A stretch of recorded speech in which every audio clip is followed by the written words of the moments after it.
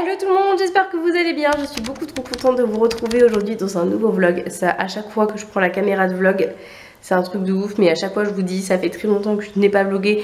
Et effectivement, euh, maintenant, je vlog de moins en moins. Mais quand je vlog, c'est avec grand plaisir. Et aussi parce que j'ai des choses à vous partager, que j'ai envie de vous partager. Et ça me fait plaisir de vous les partager. Donc aujourd'hui, je vous amène dans ma petite journée avec moi. Euh, là, je me suis levée un peu plus tôt avant d'aller travailler parce que là, j'ai promission d'aller acheter le cadeau d'anniversaire de mon papa parce que je n'ai toujours pas euh, son cadeau d'anniversaire. Son anniversaire est passé mais on va bientôt se retrouver en fait pour faire euh, les anniversaires du mois d'août euh, tous ensemble etc. Je pense qu'on va faire ça ce week-end et du coup je voulais aller chercher le cadeau d'anniversaire de, mon père parce que je vais pas pouvoir le faire le soir parce que bah, les magasins ferment à l'heure à laquelle je termine. ce soir je vais cuisiner aussi. Il faut aussi que je me rachète de la poudre pour le visage parce que j'en ai plus. Donc voilà, plein de petites choses dans cette nouvelle journée. Je vous amène avec moi et c'est parti. Et avant toute chose les amis, il faut que je récupère ma bouffe pour ce midi parce que sinon je vais pas pouvoir manger. Donc là-dedans, j'ai mis un restant de gratin de brocoli avec un autre gratin au fromage et j'ai mis des espèces de trucs de, de poulet pané là et je vais prendre une compote avec et ça ira bien. Les amis, on est prêts? Voilà, j'ai tout. Mon sac à main, mon sac pour manger et mes affaires sont dans ma voiture. On peut y aller. Donc, go. Je me suis donc euh, racheté mon shampoing, aussi le shampoing à soins qu'on met derrière, donc euh, celui-là. Je me suis racheté ma poudre matifiante parce que j'en ai plus. Et euh, il me reste plus reste quasiment plus de démaquillant donc j'en ai repris. Et euh, voilà. Et euh, j'avoue que euh, au niveau du démaquillant j'aime mieux celui de chez Nocibé que celui de chez Sephora. Là je suis en train de finir celui de chez Sephora. Donc là c'est à dire que l'heure passe. C'est pas encore tout à fait l'heure que j'aille travailler mais on n'en est pas loin. Et j'ai un peu faim. Donc je vais peut-être aller manger un truc avant d'aller bosser. Bien je suis donc prête à aller travailler. J'ai mangé un petit morceau parce que j'avais vraiment trop faim et que j'ai pas mangé ce matin. Donc cette fois, let's go Les amis, je vous reprends quelques heures plus tard. Mais pour vous c'est tout de suite. Euh, pour vous dire que je suis bien rentrée de ma journée de travail. Il est à peu près 19h20, quelque chose comme ça. Donc là je pense que je vais aller me mettre en cuisine pour préparer, tenez-vous bien, quelque chose dont on n'a pas l'habitude de la purée de courgettes. En fait, j'adore les courgettes et j'adore la purée. Je me suis dit, ça pourrait être sympa de faire le combo des deux et potentiellement faire une purée de courgettes. On va tester ça ensemble les amis, on va voir si ça prend, si la mayonnaise prend, comme on dit. Pendant que les pommes de terre et les courgettes vont cuire à la vapeur, je vais très certainement aller me doucher et après on finira de faire la purée, mais dans un premier temps, en cuisine les amis.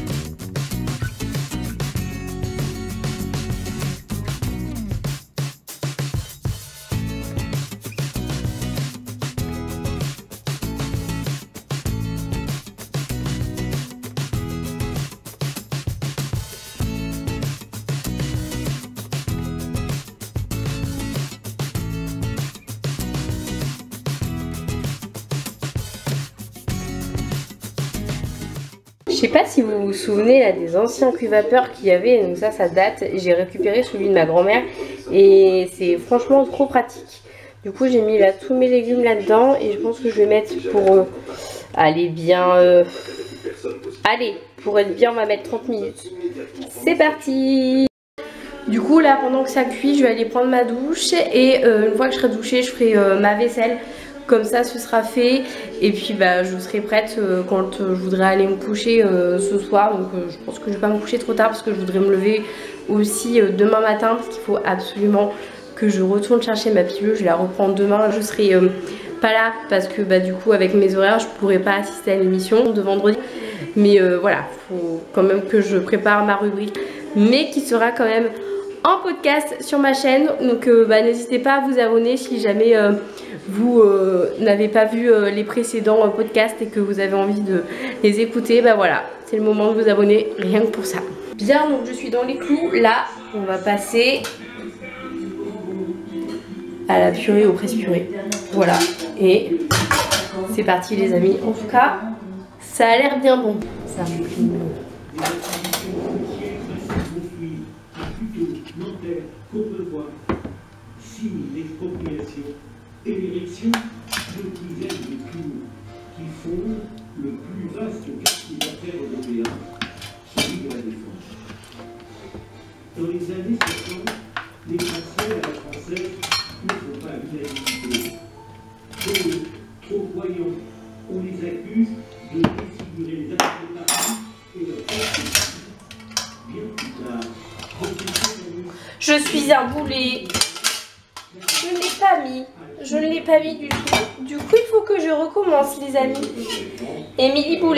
En cuisine. You.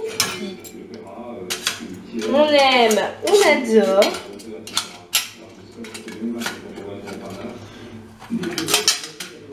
Allez, Émilie. Allez, Émilie. Ah J'aurais voulu que vous ne voyiez jamais ça en fait.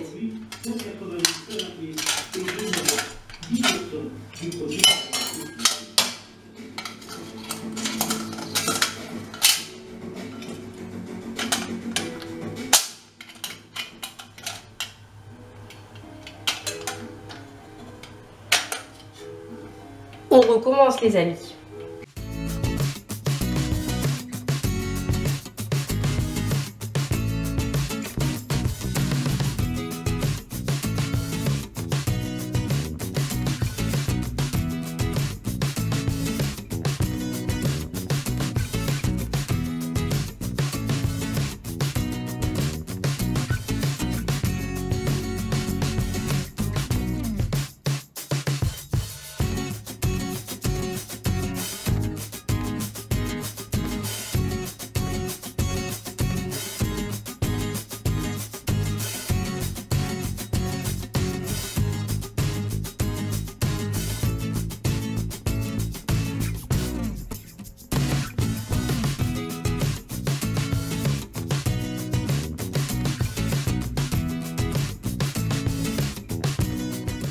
Écoutez les amis, je pense qu'on est plutôt pas mal. Donc là, je vais goûter ma petite purée là. Mmh. On est sur une franche réussite. Elle est vraiment pas mal du tout. Donc là, la purée est prête pour quand je voudrais manger, quand je vais vouloir la manger. Donc je l'ai prévu dans ma semaine. Euh, vendredi, je ferai ça avec du poisson et euh, très certainement avec des poivrons un petit peu aussi en plus pour faire un, petit peu plus de, légumes même si on a déjà du coup parce que j'ai mis euh, de la courgette dedans. Et franchement c'est vraiment pas mal, c'est vraiment très bon. Il en restait là. Et là je vais aller regarder Plus belle la vie parce que j'entends derrière que ça a commencé. Euh, il faut que je regarde la fin de l'intrigue parce que là on est waouh on est encore sur une intrigue totalement folichon. Voilà, euh, je suis pas sûre que j'ai parlé la France, mais c'est pas grave. Et après, on ira manger, euh, quoi de prévu pour ce soir? De la soupe avec euh, du pain.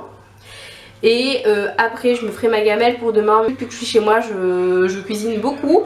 Et c'est vrai que là, j'ai des super livres de cuisine que je vous montrerai dans une vidéo spéciale et euh, dimanche j'ai fait une recette de one pori et qui était très bonne d'ailleurs et dans ma recette normalement il y a de la viande sauf que quand j'ai fait les courses la semaine dernière j'ai oublié d'acheter la viande qui va avec Donc euh, j'ai fait dimanche du moine pori mais du coup sans viande. C'était aussi très très bon. Donc dedans il y a euh, du riz, il y a euh, de la sauce tomate, il y a des petits pois, des carottes et des poivrons si je ne m'abuse. Et je crois que j'ai fait le tour.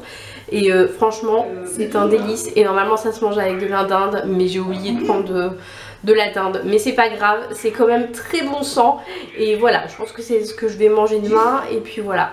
Donc là je vais aller regarder Plus belle la vie donc ça c'est mon repas de ce soir. Donc ça c'est mon morceau de pain que j'ai pas mangé ce midi mais du coup bah je le mange là avec ma soupe. Donc c'est une soupe que j'ai faite. Il y a euh, la courgette, du concombre et du poivron vert dedans. Elle est très très bonne. Et du coup je vais manger ça devant euh, la nouvelle série là de la 3 qui s'appelle Jugé coupable. Je vous dirai euh, quand ce sera terminé ce que ça vaut etc. Voilà. Sur ce, je vais manger parce que j'ai faim j'ai terminé de regarder les premiers épisodes de la nouvelle série de France 3 qui s'appelle euh, Jugé coupable et c'est vraiment euh, très bien joué, les paysages sont magnifiques, ça se passe en Bretagne et franchement là les paysages qu'on a pu voir jusqu'à maintenant j'avais avant de moi chercher sur internet, je m'étais dit oh, ça ressemble à la Normandie ou à la Bretagne, mais quelque chose comme ça. Et après j'ai moi fait mes quelques recherches et j'ai vu que ça se passait en Bretagne. Et euh, donc pour ceux qui ne regardent pas, euh, le petit résumé, en gros c'est une jeune femme qui s'appelle Lola Brémond qui a 25 euh, et qui en fait est originaire de Bordeaux et en fait elle monte en Bretagne parce qu'elle a échangé avec quelqu'un par SMS pour passer un entretien d'embauche sur euh, eh ben, en Bretagne. Et en fait, cette personne avec qui elle communique euh, au bout du téléphone, en fait, elle ne la connaît pas, ne l'a jamais vue. Et quand elle arrive euh, sur place, à l'endroit où la personne lui donne rendez-vous, il s'avère que la personne ne lui a jamais donné de rendez-vous et que, bah, en fait, là, elle comprend que c'est un faux entretien d'embauche, en fait et que c'était entre guillemets une excuse pour la faire euh, venir dans la région et euh, en fait cette personne la guide par SMS en sachant qu'elle ne l'a jamais vue, elle ne sait pas qui c'est euh, en fait elle la guide en lui disant eh ben, écoute faudrait que tu ailles dans ce restaurant là il y a quelque chose qui pourrait t'intéresser. Donc elle va dans le fameux restaurant dont la personne lui parle par message.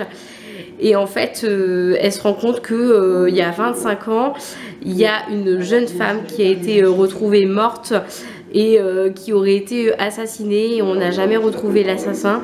Et en fait elle, se reconnaît en fait en cette personne parce que elle trouve qu'elle a beaucoup de points communs avec elle. Et au final elle se rend compte euh, assez rapidement en fait que cette fameuse femme qui est morte n'est autre que sa mère. Voilà. Donc euh, pour l'instant on est sur un début qui est vraiment euh, fort sympathique, on est vraiment tenu en haleine et tout, c'est vraiment très bien joué. Il y a des acteurs du petit écran qui sont assez connus qui jouent dedans. Il y a euh, Elodie Frank notamment qui a joué dans les petits meurtres d'Agatha Christie. Ça faisait très longtemps qu'on ne l'avait pas revue dans une série à la télé et ça fait vraiment trop plaisir de la revoir. C'est une actrice que j'aime beaucoup.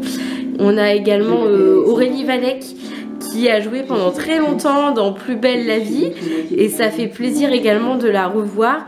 Et il y a aussi un acteur un petit peu connu, peut-être que vous, ça va rien vous dire le nom que je vais vous donner. Cet acteur s'appelle Pierre-Yves Bon, il joue le rôle du, du gendarme qui enquête euh, sur euh, les morts euh, qu'il y a actuellement en fait. Et, voilà, après il y a d'autres acteurs qui sont très certainement connus mais que moi je connais pas. En tout cas, euh, ça c'est pour les acteurs que moi je connais. Après il y en a un autre que je connais de visage, je connaissais pas son nom. Il s'appelle Jérôme Anger. Voilà, après si vous voulez voir leur visage, je vous invite à aller chercher sur internet pour que vous puissiez avoir pour avoir en fait euh, un visuel sur euh, les personnes euh, qui jouent les personnages. et celle qui joue vraiment le rôle principal s'appelle Garance Steno elle joue donc bah, Lola Brémond et puis le rôle de sa mère donc il y a 25 ans s'appelle donc Manon Jou voilà pour euh, le petit, la petite critique euh, du soir, la série. C'est vrai que ça faisait très longtemps que je vous avais pas fait de critique. Et là, je me dis que c'était l'occasion en fait, parce que voilà, là j'ai regardé en direct. Et c'est bien de donner un avis directement après. Je trouve que encore, c'est encore tout chaud, tout frais, tout ça, et c'est pas mal. Et là, les amis, je suis en train de me dire que j'ai pas fait ma gamelle pour demain. Mais euh, toujours est-il que euh, ce que je vais manger demain, ça a déjà été préparé. Donc je vais aller mettre ça dans la gamelle que j'amène. Va-t'en toi, je t'ai pas demandé de venir me faire. Donc je vais vous poser les amis parce que j'ai besoin de mes deux mains.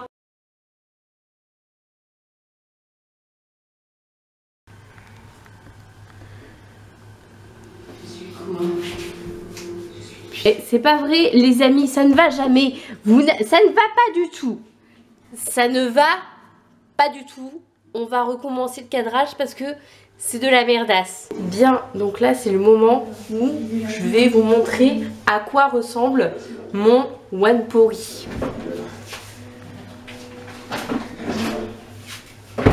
Je l'ai fait il y a deux jours, il est encore bon, j'en ai encore une bonne quantité.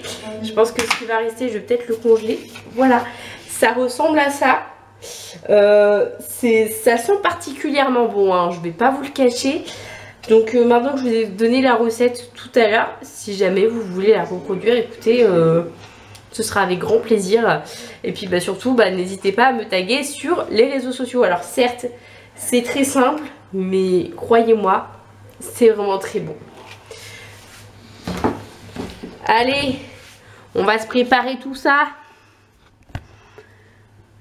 Il s'agirait que vous êtes un peu trop haut les amis. Voilà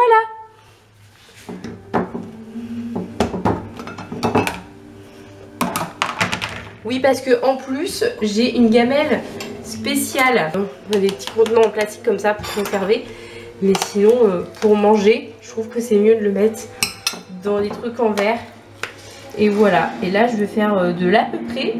Alors, euh, à peu près bonjour. Ça fait euh, la moitié, je pense. Ça fait bien la moitié. Je commence à avoir l'habitude hein, maintenant. Mais c'est vrai que comme j'ai commencé mon... Enfin, ça fait quelques temps hein, que j'ai commencé mon rééquilibrage alimentaire.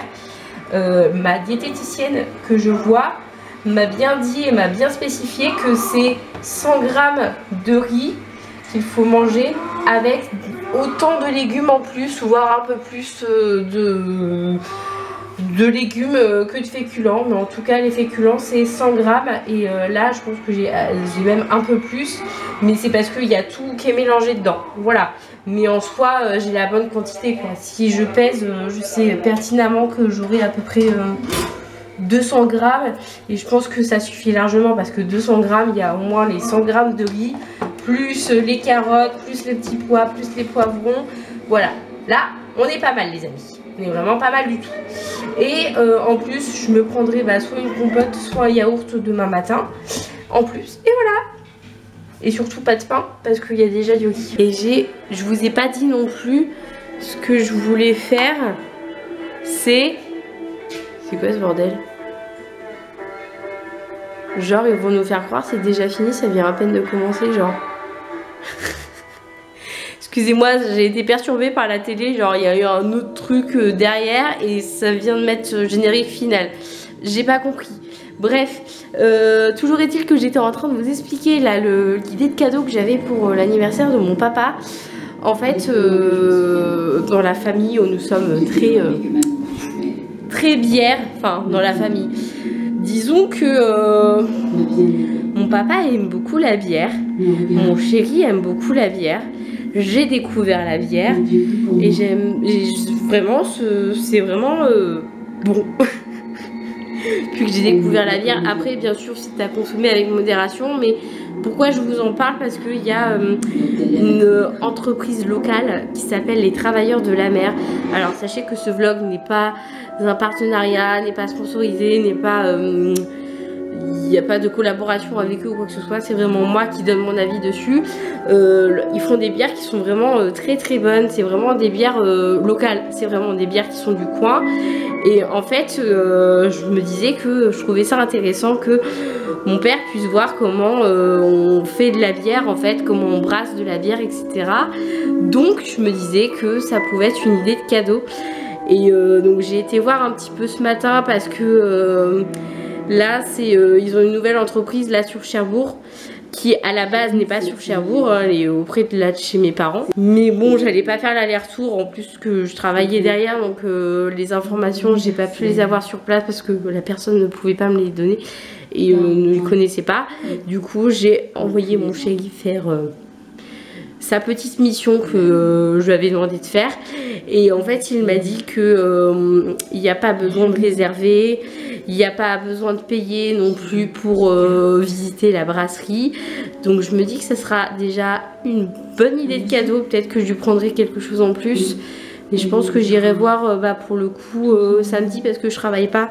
Je pense que j'irai sur place et en même temps peut-être que je demanderai s'ils peuvent pas faire une petite carte avec le nom de mon père et le nom de ma mère. Comme ça ils iraient le visiter ensemble et tout. Je pense que ça peut être un cadeau ultra sympa. Euh, et, voilà, et puis ça fera une bonne mise en bière, comme on dit en plus. Oh là là, le jeu de mots. Ouloulou. Donc voilà, au moins vous êtes au courant du cadeau que je vais faire à mon père. Je trouve que c'est vraiment une bonne idée parce que bon, je trouve que pour les hommes, c'est difficile de trouver des bonnes idées de cadeaux à partir, euh, à partir d'un certain âge. Voilà, ou même euh, tout court, je trouve que c'est euh, difficile de trouver des idées de cadeaux euh, assez originales pour les hommes. C'est plus facile pour les femmes, mais c'est vrai que pour les hommes, c'est moins facile. Donc voilà, moi je pense que ça peut être une bonne idée. Après, si ça peut vous donner aussi des idées, et eh ben, je serais ravie de pouvoir vous donner des idées de cadeaux à faire. Et, et puis voilà, en tout cas, sachez que je pense que ce vlog sortira quand mon père aura déjà reçu son cadeau. Donc euh, normalement, il n'y a pas de souci à se faire là-dessus. Il n'y aura pas de, divulgation, euh, d'information bien avant. Donc, euh, voilà, ça c'est plutôt une bonne nouvelle. Les amis, je suis un boulet, j'allais clôturer le vlog, mais en fait je vous ai même pas montré les shampoings que je vais utiliser pour me laver les cheveux. C'est une routine que je fais assez souvent. Du coup, je vais vous montrer ça et ensuite je termine le vlog. Euh, parce que, alors que je vous explique, parce que j'ai deux shampoings différents.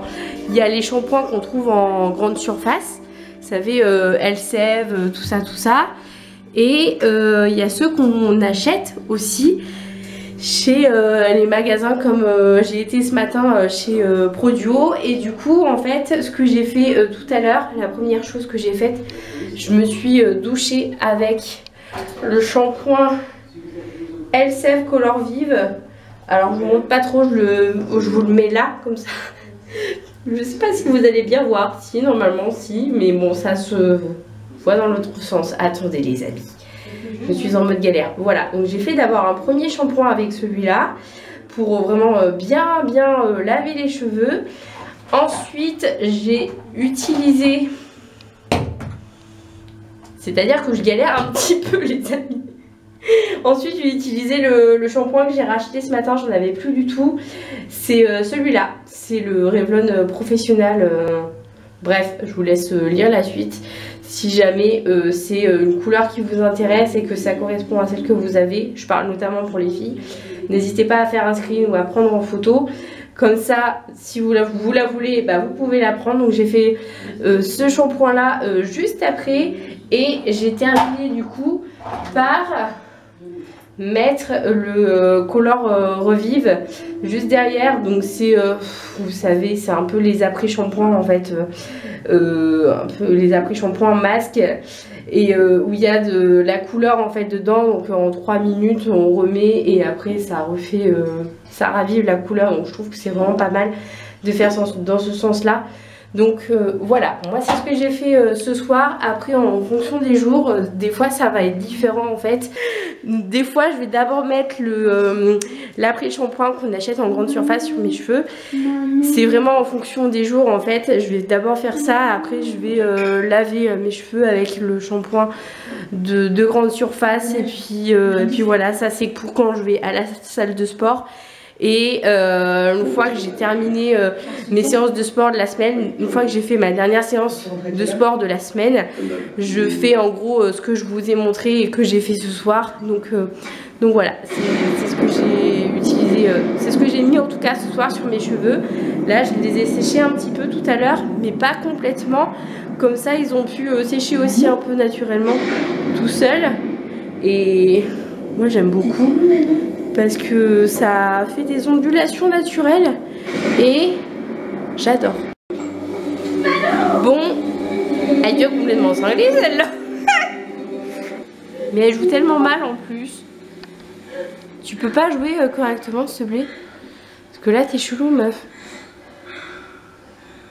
Dis-moi, où est-ce que tu l'as rencontré Regardez-moi cette série qui est genre hyper mal jouée. Enfin, je vous dis série, mais je crois même pas que ce soit une série. Je crois plutôt que c'est un téléfilm. Attendez, on va regarder comment ça s'appelle.